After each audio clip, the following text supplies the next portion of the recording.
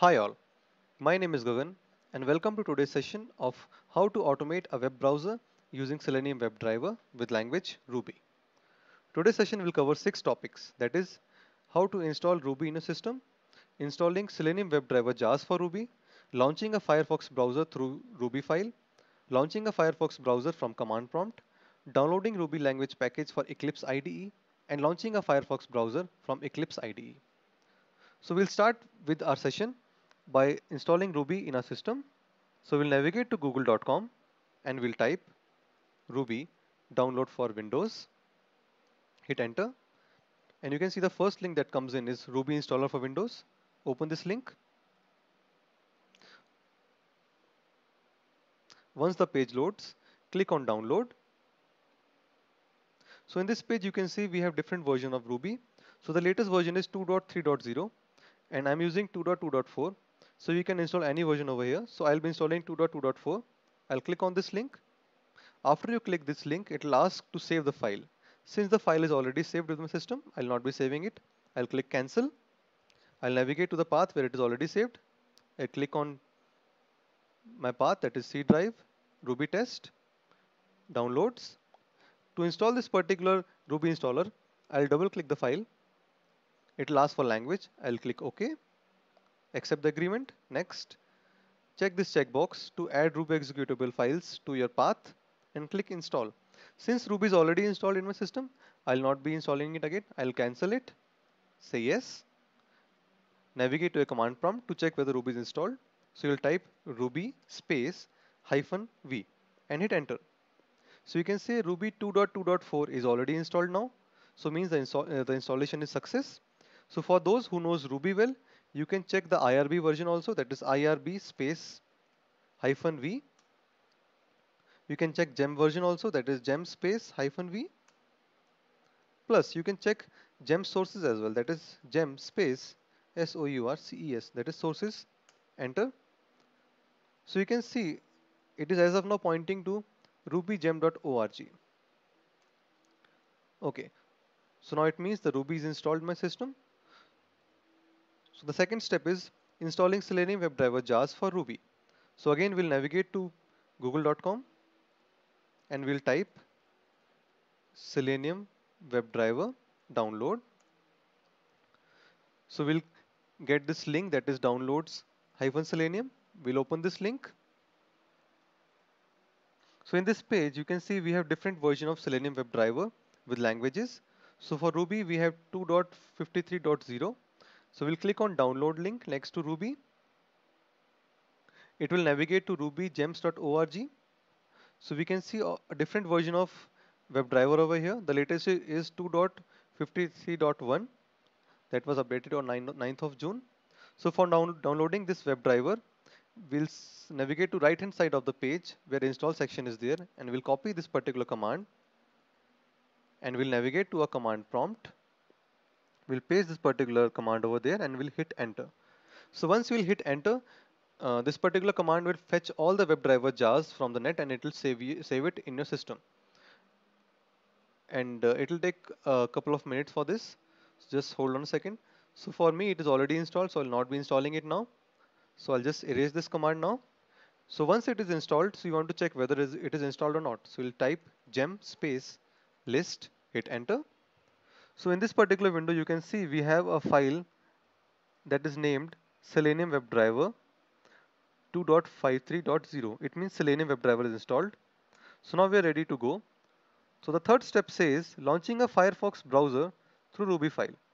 So now we'll navigate to a local folder where you want to save the files. I'll navigate to my local folder and I'll create a file, a new file. I'll name it, let's say, launch browser and I'll remove the extension I'll name it as .ir, .rb that is Ruby. So it will ask to change the extension I'll say yes. So now you'll see like the icon has changed to a Ruby icon. In order to edit this file I'll just click right click and uh, I'll click on edit with notepad++ so now we'll write a first code to launch a Firefox browser using Ruby. So we'll type require ruby gems require selenium WebDriver driver selenium WebDriver dot for Firefox. So since we're using a Firefox browser, I am giving Firefox over here. So now we want to navigate to facebook.com. So we'll type driver dot navigate dot to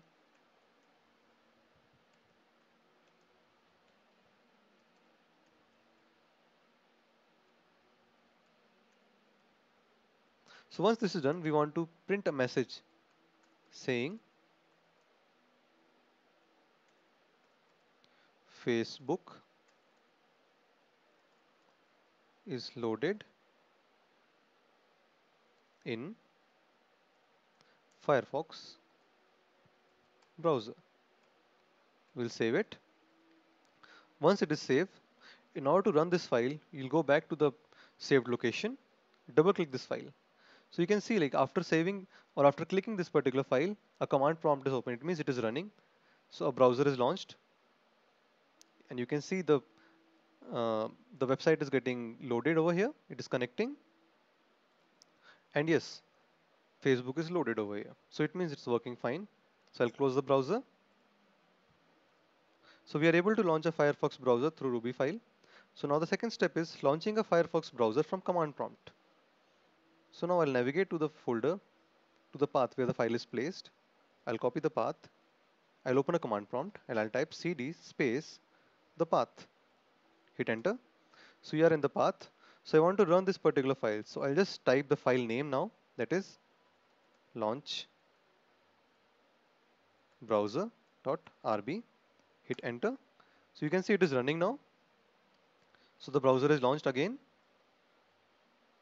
It's navigating to facebook.com as mentioned. Okay, Facebook is loaded. It means the script is working fine from command prompt as well. We'll close the browser. So we can see the message that we have displayed in the script that is Facebook is loaded in Firefox browser. That is this one. It is printed. It means it is working fine. So the second last step that says download Ruby language package for Eclipse IDE. So we'll open Eclipse IDE now. So we'll create a new workspace. So let's say I'm creating a workspace name Ruby Auto. Click OK.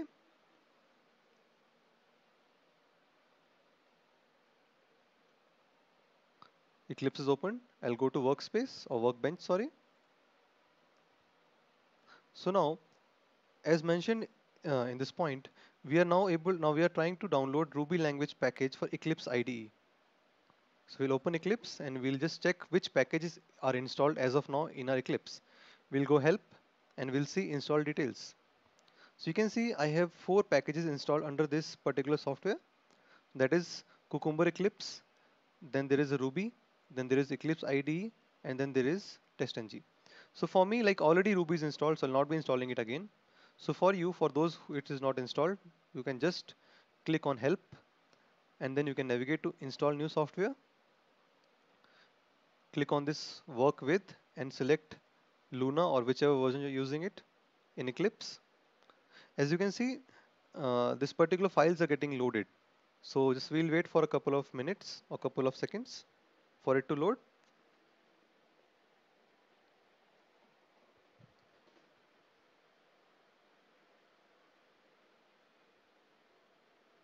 Okay, so it's loaded. So we'll navigate down and we'll select programming languages. So you can see we have different language under this programming language that is C, C++. So we want to install Ruby over now. So we'll just navigate down. So if you want to install Ruby, it will come like dynamic language toolkit and then there is Ruby development tool. So since for me it is already installed, it is not displayed here. So if you want to install, you'll just check the checkbox next to the Ruby toolkit and after checking it you'll just simple click next and then you'll install it after accepting the agreement cancel it so after it is installed you want to create a Ruby project. So for this, you'll create this perspective window. Once it is open, you'll select Ruby over here, click OK. So the Ruby subtab comes in and it is activated now. So you just create a new project that is new Ruby project. You'll type the name, let's say Ruby test. So once it is done, you can see a error message that comes in that is at least one interpreter must be configured. So you'll click on this configure interpreter link click on add navigate to the path where Ruby is installed. For me it is installed in Ruby 22-x64 bin path. I'll, I'll go to the path and I'll select ruby.exe open. Okay. You can see it is coming over here now with the name ruby.exe okay? Click finish. So you can see a project is created. Now we'll try to create a ruby file over here. Right click new file and give the name. Let's say I'm giving the name as launch browser.rb as it is a Ruby file.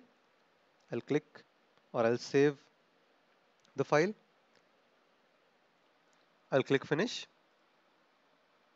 the file is created and you can see a Ruby icon over here it means it's a Ruby file so now I'll be creating uh, a Ruby script over here in Eclipse to launch a Firefox browser. So for saving time, I'll be just copying the old script that we've created and I'll paste it there. So I'll just copy it. I'll navigate back. I'll just paste it here. I'll save it. So now the file is saved. So to run this file, I'll just right click, go to run as and click run script. So once you click it, in the console, you can see the script is running the browser is launched and is trying to navigate to facebook.com as it's mentioned in the script. So facebook.com is loaded. It means the script is working fine. I'll just go to my Eclipse now and you can see the same message over here that is Facebook is loaded in Firefox browser that is mentioned over here. It means the script is working fine from Eclipse as well. So if you can see, we have covered all the topic today and it all worked fine. So thanks a lot for watching this video. Keep watching. Thanks.